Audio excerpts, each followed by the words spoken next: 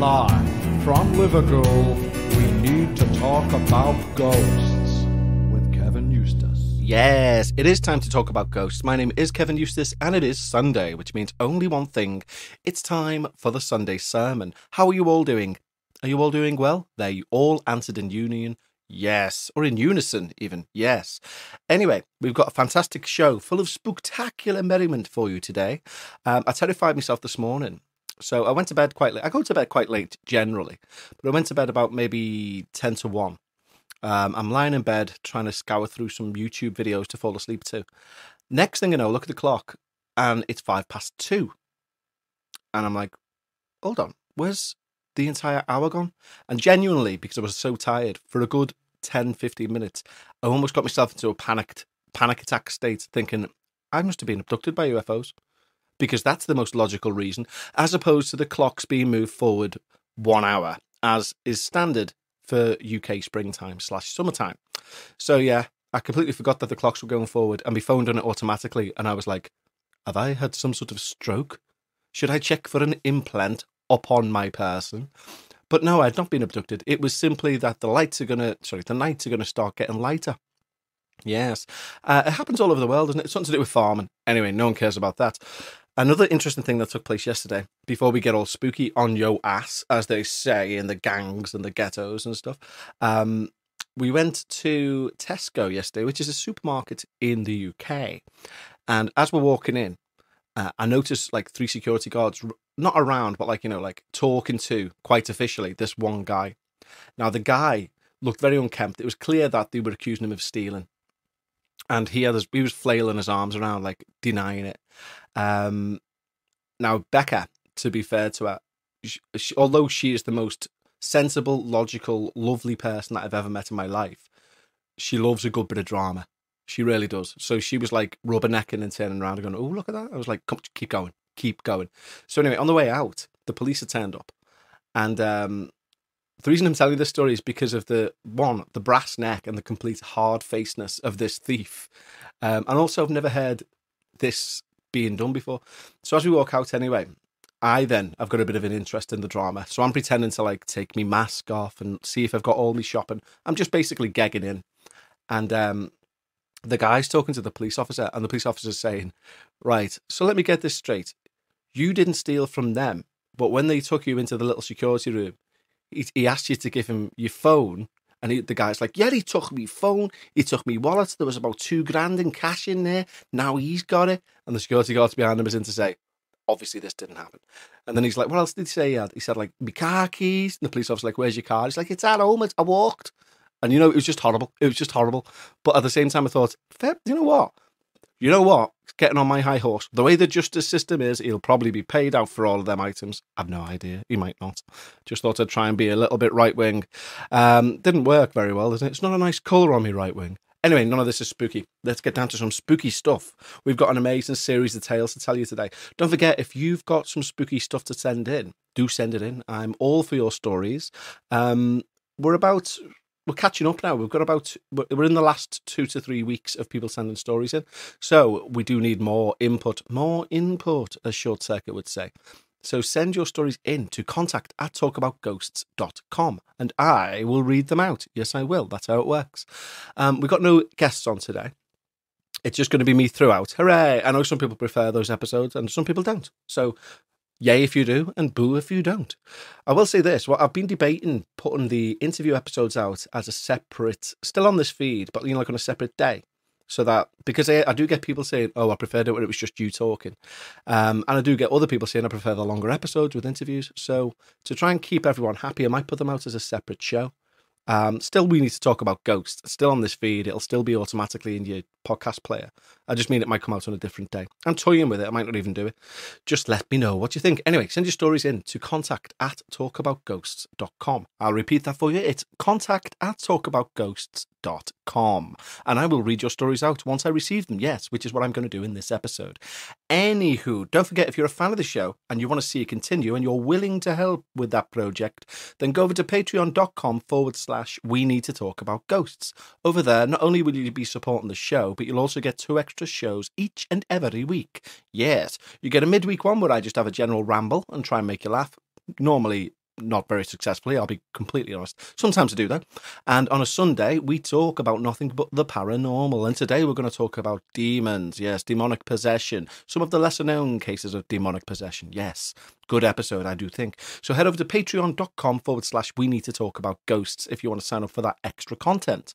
And two people have done that this week the wonderful Chris Sandford and also T.I. Shippers. Now, you may remember Miss T.I. was one of our first guests when we started to do interviews, and she hosts her own show, Ghost Stories with Spooky Miss T.I. Yes, she does. Also, a very accomplished author. So, thank you to our two wonderful Patreons. As per usual, I'm going to say thank you to you via the medium of song. The guitar is indeed out, and we're going to go a bit bluesy for you two wonderful people today. Yes, we are. And this is your thank you song. Oh, Chris Sanford, Miss T.I. You're keeping the lights on, and I want to say thank you. And you're gonna get two extra shows and keep the show running. That didn't rhyme. No, it didn't. No, it didn't. Ooh. A non rhyming blues song. What I've done there is I incorporated a little bit of jazz because it doesn't have to rhyme all you snarky people saying that song didn't rhyme. No one's saying that, Kevin. Anyway, big thank you to Chris Sanford and, of course, Miss T.I. Shippers. Um, if you'd like to become a patron, not only would you get yourself a song like what you've just heard there, and who wouldn't want that, please, you also get two extra shows a week. So go over to patreon.com forward slash we need to talk about ghosts. Anyway, should we see what weird and wonderful things have been happening in the last seven days? I think we shall. Yes, it's that wonderful time of the week when we take a look at what weird and wonderful things have taken place on this little planet we like to call the Earth. And this week we have a terrifying tale from TikTok. Get on the alliteration in that sentence. Now, TikTok, of course, is the social media site that puts fear into people of my age. Fear of TikTok into my age, definitely, because we're like, what? I don't get it. So, why would I want to do that? Anyway. Um, so this woman has started to hear her daughter laughing to herself. She's like playing on her own and laughing away and imagining things in the bathroom. And she's like, I'll record that. How cute's that? Ah, it all takes a turn for the worse. Dun dun. Dramatic there, and I, I never intended that music to be so dramatic, but if you use it right, it can be. Anyway, back to the story. So, this woman has shared this bizarre experience on TikTok. I'm taking this from the Daily Mirror in the UK. The parent, known only as Jess, overheard her daughter having a good laugh whilst in the bathroom, and she thought it was the cutest thing, started recording. Just said all that. Um, then, a door can be heard slamming, and then her little girl spookily proclaims, No one leaves the room. And it is a bit eerie like.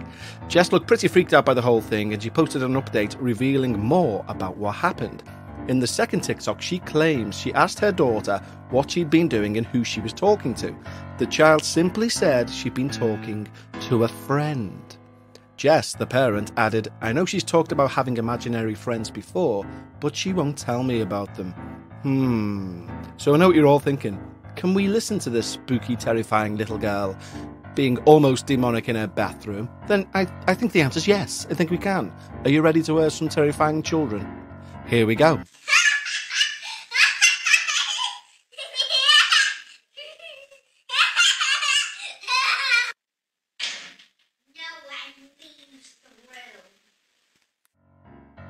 Hello, is that Pant Wetters Anonymous? Yes, I'd like to sign up for your introductory offer, please.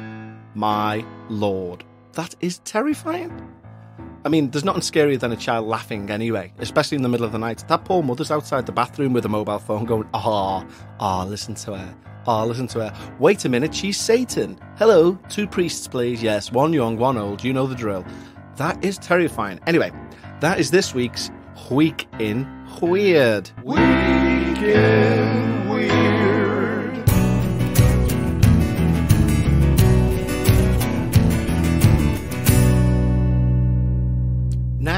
We're going to start off today's story section with an update.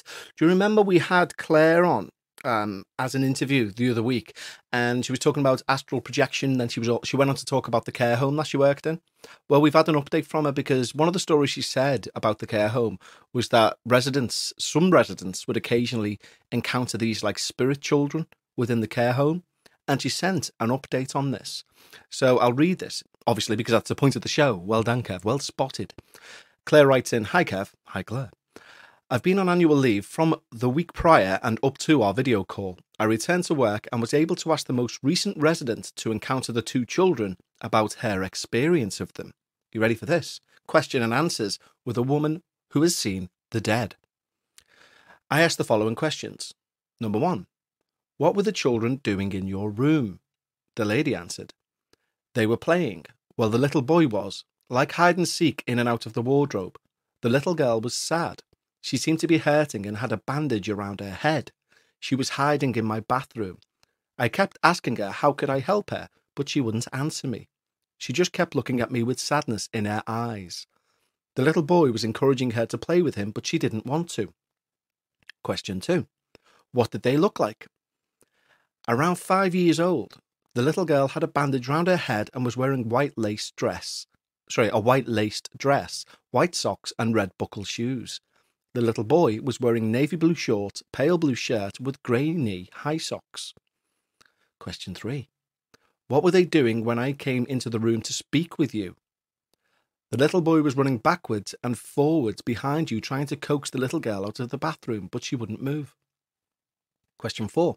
How long were they there? About an hour. They only left when the woman in the flower print dress came to collect them. Obviously, question five is the woman in the flower print dress. Yes, she came into the room about 10 minutes after you and said, Come along now, children. Then they all left together. And final question Have you seen them again since? No, just that day. Claire goes on to say, This is the first I've ever heard of a woman in the flower print dress. Later on in my shift, another resident who was fully compos mentis called me over and had this to tell me. I couldn't help but overhear your discussion earlier. I've never seen the children you were talking about, but I wake up through the night quite often. Sometimes I see the woman in the floral print dress at the end of my bed. I know she's a ghost. Her dress is like the type I wore in the 50s. I know there are only uniformed staff in the building throughout the night. I've not mentioned seeing her before now, in case you all thought I was losing my marbles. Wow. I love it when we get updates to stuff, especially when it's as terrifying as that. Sorry, I've got, uh, you might hear me swallowing throughout this episode. I've got an awful cold. It is just a cold. But unfortunately, it came with this. I've just run down. It also came at the same time that I've got an eye ulcer. And if you've ever had a corneal ulcer, you'll know they are the devil's arsehole. So I've had to like, I'm on antibiotic drops in one eye and a painkiller in the eye, like a drop. It makes that eye completely blind and makes the pupil massive, like you're on smack or something. So yeah, I look at right treat and I'm reading stuff with one eye. And yeah. Anyway, moan, moan, moan. That's all he ever does. But thank you, Claire. What an amazing update. Amazing. Now, in today's episode, we have a series of tales sent in by one listener. And they're all bloody amazing, but the listener wishes to remain anonymous, which is fair enough. You know, as I quite rightly say, if you're going to remain anonymous, let me know at the start of your email, and they indeed do. And uh, the email goes like this uh, literally, the title of the email, by the way, is Would like to remain anonymous if possible. So, yes, that's fine, of course. Hi, Kev. Hope you're well. I am. Thank you. As I mentioned in the email, I've been meaning to submit the following stories for a while. However, given that many of them are experiences of friends and family members and not just myself, I wanted to speak with those concerned first to clarify the exact details of all the tales they've told me over the years in brackets, as well as finding out who actually does not mind me sharing the experiences, as some are more personal than others. Now, the following experiences date back as far as 50 years ago, starting with my mum, who, like myself, has always been open to the supernatural, and my dad, who, despite probably experiencing more than anyone I know, is still a skeptic and tries to rationalise events that sometimes simply can't be. Another reason I hesitated in submitting these is I was also a little worried that by doing so, I might somehow provoke things into happening again. And with it now being about five years since I've experienced anything personally, I wouldn't want that. See, it's a little lines like that which really tease me into someone's email. So well done, you. Now, there are quite a few stories, and over the years, I've always tried to think of why this is. One reason I believe that this is, is my family is simply huge, with both my mum and dad being one of 10 children each. Oh my Christ! Did you live in a shoe? So I guess you could say that you would expect us to have more tales than most. Another reason, and one which I believe to be the main culprit, is the actual area where we have always lived in and around. The area in question is pretty old with a lot of history. I believe the main town was given its name by Henry VIII, and all within a couple of miles of each other are a park which locals say housed witches, in brackets, also an old highwayman, and friend of Dick Turpin is said to have been caught and burned to death here. Wow. A creepy monk's monastery, and what used to be an old hanging quarters back in the 18th century. The reason why I say this is that even though the stories have all happened in various locations, they are all no more than a mile from the above three locations. Obviously, this could all be coincidence, or is it the result of some form of energy that has built up over the decades? Simply put, I do not know. So, with this now all being said, I suppose I best get to the stories. I will tell these chronologically. So we'll start with those from my parents, aunties and uncles slash grandparents first, before I eventually move on to my own personal experiences during my 30 plus years. Wow, I tell you what, that's a hell of an intro. You've got me intrigued to death. So I now wish to be terrified out of my pants, please. So let us begin with Anonymous's first story. And this is called The Exorcism of Laura. The first story I'm going to tell you about centres around the property which until this very day my grandparents still reside, and the childhood home of my dad and his nine brothers and sisters. It's a modest three bedroom semi detached, so as you can imagine, it's somewhat of a madhouse by all accounts, especially back in the mid 60s, which is where the story began for my family. Now, in terms of the house itself, aesthetically, it's always looked pretty normal nothing spooky at all. And it's on a pretty busy road. But even now, when I enter the property, something doesn't sit quite right. This is something I felt even before I was told of the following events.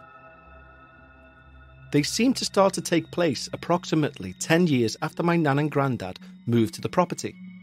Or at least it was around this point they started to notice something wasn't quite right at their family home. It's also worth noting that at this point, my dad was the youngest of 10. He was around 5 at this point, and his only brother was the eldest out of the whole bunch.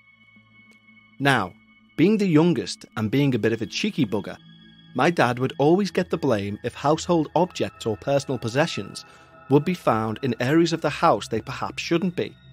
For example, photo frames, jewellery, they were often found out in the garden or if rooms were left in an unexplained mess.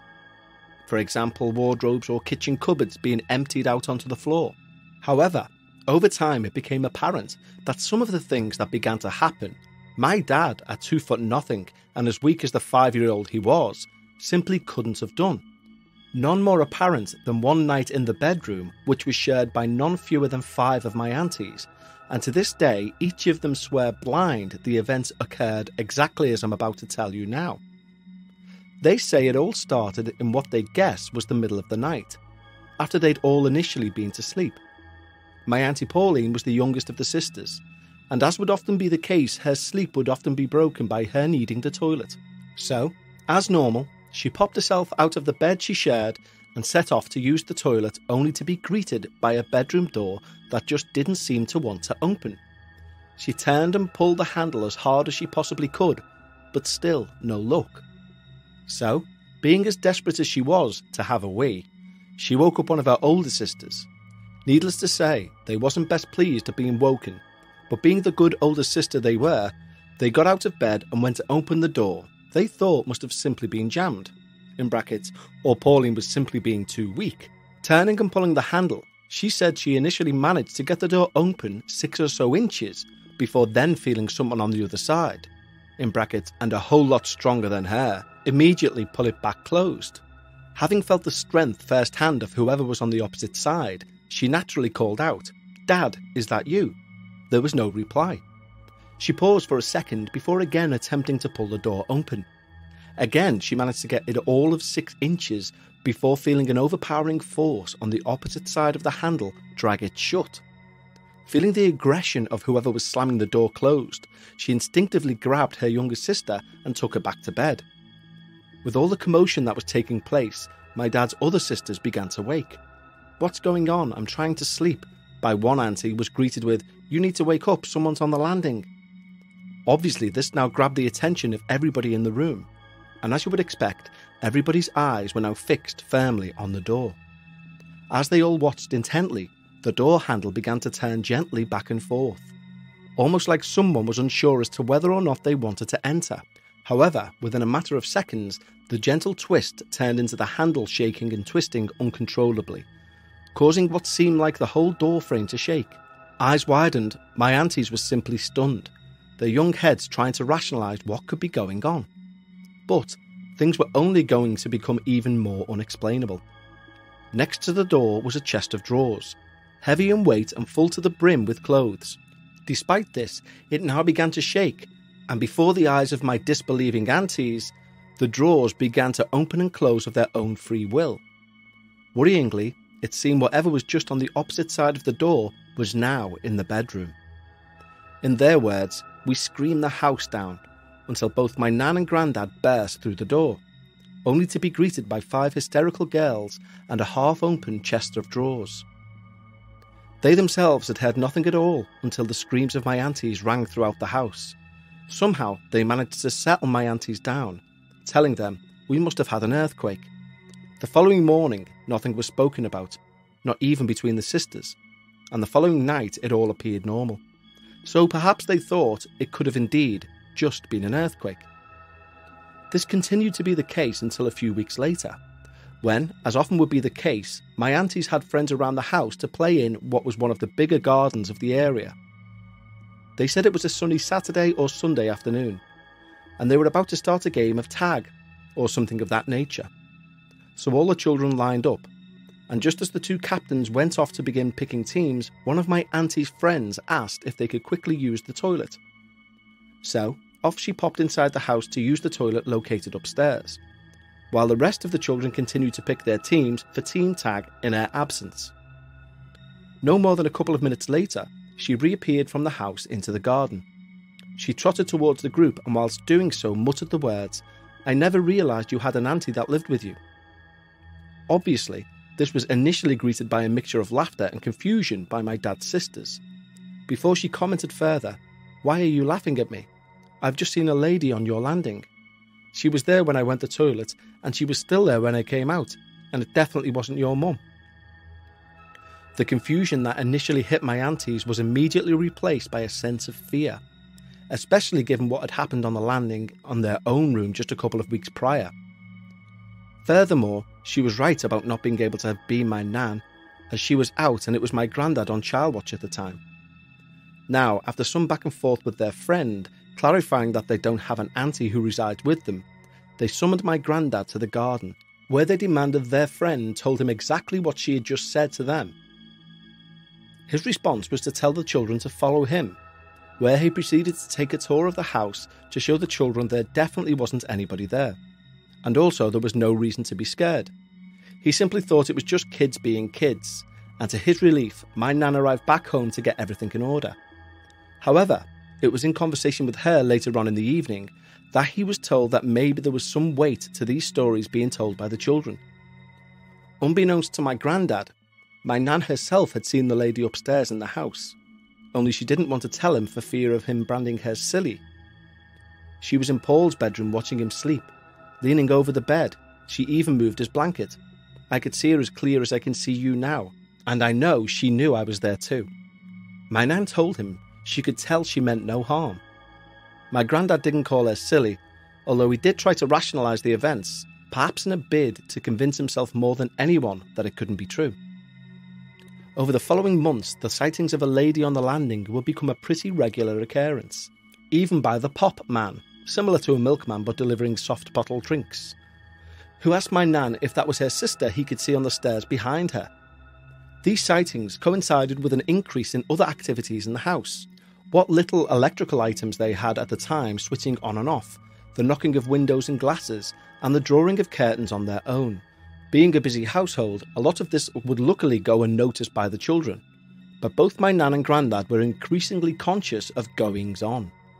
Years later, my nan would describe this period to her kids, stating that she could feel a pressure building within the house. And what was initially a peaceful presence was now making her feel more and more uneasy by the day. Not by a particular event, simply a feeling, an instinct. With this in mind, and on the advice of one of her friends that she'd confided to about the situation, my nan went to speak to the local priest. She was as atheist as they come, so the idea of entering a church was probably a more scary prospect to her than what had been going on back home. It was within this meeting she was surprised to hear from the priest that these kind of stories were pretty normal to him, and that only recently he had aided in performing a clearing at an address not too far from her own. He then went on to ask if my nan had knew anything previously of residents in the property, or anything else of its history. However, the property had been vacant for a few years when my grandparents had moved in, and each of the neighbours had lived on the street for a shorter time than they had. So, on that note, the priest said he would like to do some of his own digging around and agreed to visit the property himself the following week. It was this week between the meeting at the church and the day the priest had agreed to visit the house that my family recalled the most aggressive activity occurring. What was originally misplaced items turned into broken, smashed belongings. Picture frames would appear to spring off the walls, and my nan said one evening she even felt someone or something tug her hair back, in what she felt like was a bid to stop her from climbing the stairs. In brackets, everybody else had already been in bed a while at this point. Perhaps, though, the most weird thing of all, and something I've never really heard about before, was a visible increase in condensation in the house. My aunties recall the house feeling muggy, and not just in the kitchen or bathroom, but literally every single room. Furthermore, during this week, the shaking of the girl's bedroom door handle and chest of drawers would occur nightly. My nan said it was almost as though whatever it was was well aware of her visit to the priest and her intention to get rid. Following this week of hell, the priest arrived, as he had agreed to, at the property, where my family proceeded to tell him about that week's occurrences. He himself said that upon entering the house, he immediately could sense an unhappy spirit, but that he also had some news regarding the history of the house and what the root of all this activity could be. With the children in the garden playing, the priest proceeded to tell my grandparents that some years prior to them moving into the property, the house belonged to a family of three a married couple and their five year old son. And it was his belief that the spirit in the property was that of the mother or wife. The reason for this being that through his research, he discovered that whilst she was on a trip back to Scotland, where the family originally moved from, her husband and son were tragically killed in a motor accident not too far from the family home. He would then go on to tell my grandparents that the lady in question name was Laura, and that not long after laying her husband and son to rest, she sadly hung herself in what was now their family home. Greeted with this explanation, my granddad once told of how my nan cried her eyes out for no reason other than sympathy for this poor woman. She simply couldn't imagine the heartbreak she must have went through, and she said this might explain why she once saw Laura checking over her own son, who was five himself at the time. This revelation prompted my nan to say Laura can stay. It's just as much her home as ours. However, the priest felt that it was important my nan put this emotion to the back of her mind, particularly given the recent increase in activity, and also with the activity becoming physical. My granddad agreed with the priest, and finally, with my nan's blessing, they set a day for the exorcism of Laura's spirit to take place. It's at this point none of my aunties can recall exactly what went on during the procedure, and it's something that neither my nan nor granddad spoke about. Perhaps they felt a sense of guilt, I'm not entirely sure. However, they did confirm there were no more sightings of Laura from this point on, and despite odd happenings here and there in the years following, it all just felt different. Wow. What an amazing story. Thank you very much, Anonymous. It's terrifying, isn't it, to think somebody watching over you whilst you sleep, even in a nice way, like that spirit done. Um, you still got shut over though, didn't you? Get the priests, get them out. Yes. Wow, terrifying. So we're going to have another story from this anonymous person, and um, because they're quite lengthy, we'll complete the four. What do you call four stories? I know three's a trilogy. What's four? We'll complete the quadrangle. definitely not what it is. Next week on next week's show. But let's have story number two from Mr. Anonymi. This is called The Disappearing Girl. The next story I'm going to tell you is approximately five years on from Laura. But unlike her story, is a single event slash experience, which this time only involved my dad. He says he was 10, maybe 11 at the time, and as he would often do, ventured out on the bicycle passed down to him from his older brother.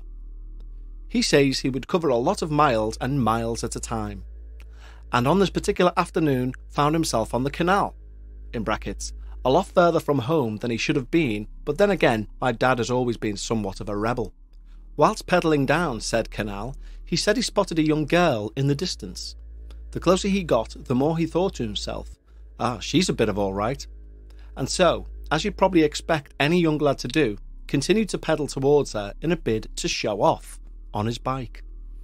As I mentioned, my dad was a little maverick, so it wasn't out of the norm for him to be somewhere on his own he shouldn't be but he did feel it was odd that a young girl who appeared to be the same age as him would be there, apparently alone. What are you doing here? he asked. It's a bit dodgy down here, he continued. She replied that she came for a walk, but like him had ventured a little too far from home and now was lost. In addition to this, she said she didn't feel the best either. So, acting grown up for a rare change, my dad offered to help her get back home as it was on his way anyway. In brackets, he said it was actually a few miles out, but he wanted to score some brownie points. Come on then, I'll give you a backy, he said, as she grabbed my dad around the waist and stood on the stud pedals behind him. He says he can specifically remember this as it was the first time a girl other than one of his own sisters had hugged him. So off they went, my dad feeling like a hero with his new friend holding on tight. He said after being initially somewhat sheepish, she would not shut up whilst on the ride to get her back home, giving my dad a feeling of, I'm definitely in here. As the miles passed, she continued to redirect my dad, even showing him some shortcuts along the way. He recalls thinking, Jesus, you're a long way from home. But he didn't mind as it meant he got to hang out with her even longer. He doesn't remember many details of exactly what else they spoke about, but he said eventually they ended up on the street that she lived. Mine's the second to the last house on the right, she said as my dad gave the pedals one last burst of acceleration to complete his rescue mission and save the damsel in distress. However, the thrill of this final burst was quickly overtaken by immediate panic, as my dad could no longer feel her arms around him. Bloody hell, she's came off, he yelped. He knew she couldn't have jumped or hopped, as he was simply moving too quick. Now, this is where the confusion in my dad's young brain kicked in, because as he looked down the path behind him, she wasn't there.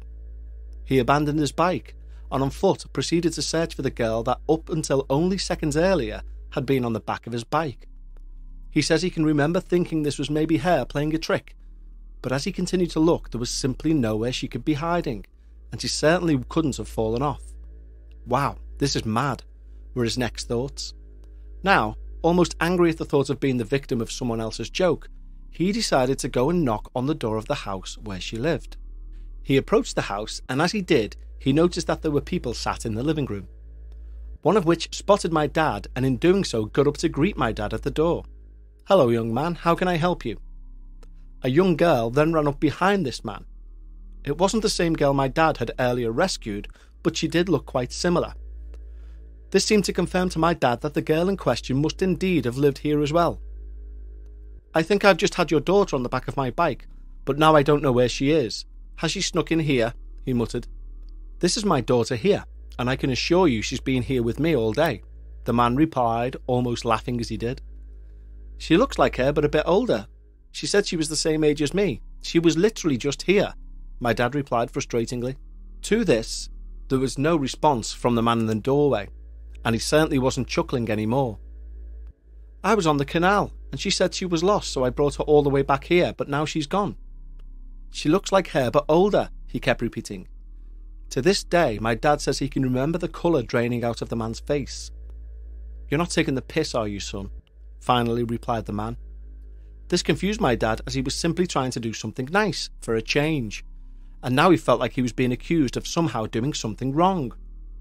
She was on my bike, she told me where to come. You're definitely not telling lies? asked the man. At this point, with his eyes watery and his hands visibly shaking. Why would I? said my dad. Appearing now to accept that my dad was telling him the truth. After all, why would he be lying? He proceeded to question him further. Not in an aggressive or querying manner, more like he just wanted to know. My dad told him all he experienced, but was still none the wiser himself as to where the girl had gone that was holding onto his waist for over half an hour. Managing to regain his composure, the gentleman explained to my dad that he believed the girl was indeed his daughter. However, my dad could never have anticipated what he was about to be told next. Crushingly, the man revealed that he had another daughter, similar age to my dad, who had passed away 18 months prior, following an incident on the same canal. He didn't say exactly what that incident was, but told my dad this is who he believes was on the back of his bike and in somewhat a turnaround of events, he thanked my dad for the message. My dad didn't probe for any further details, and even in all the years since, has never sought to find out anything more.